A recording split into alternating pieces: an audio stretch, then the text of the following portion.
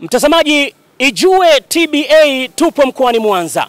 Unachokishuhudia kwa nyuma ni jengo la huduma ya afya ya mama na mtoto, jengo ambalo limekamilika kwa asilimia mia moja na kwa sasa linatoa huduma.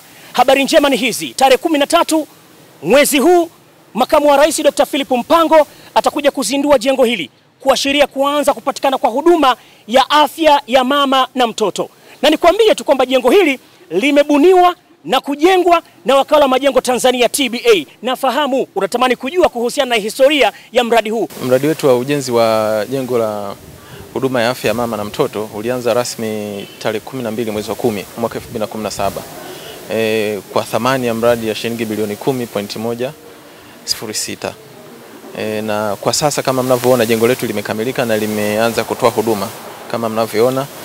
E, makabidhiano rasmi yalifanyika tarehe 26 mwezi wa tano mwaka 2022.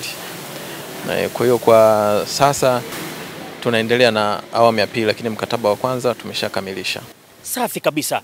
Makamu wa rais anakuja tarehe kumi na tatu zindua jengo hili. Hatua hii TBA mmeipokeaje? Kwanza Kwa kweli TBA tumepokea kwa furaha sana, kwa kuwa ni kiongozi mkubwa sana serikalini ambaye anakuja kuzindua mradi ambao e, TBA kama wakala wa serikali umetekeleza. Kwa hiyo kwa upande wetu sisi tunajivunia kwa kweli e, kwa hapa tulipofikia.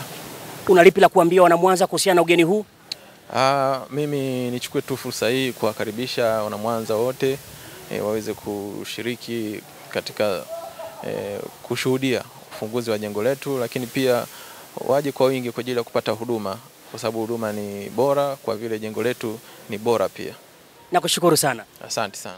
Mtazamaji, nchi yetu ya Tanzania itajengwa na Watanzania wazalendo, na wazalendo wenyewe ni pamoja na TBA kama ambavyo unashuhudia, wamejenga jengo hili la huduma ya afya ya mama na mtoto. Hapana shaka kazi tumeiona ya TBA, na tarehe kumi na tatu mwezi huu Mheshimiwa Makamu wa Rais Dr. Philip Mpango anakuja kuzindua jengo hili.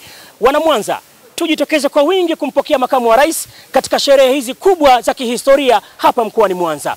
Mimi naitwa Beni Mwanantala, hii ni Ijue TBA. Wakala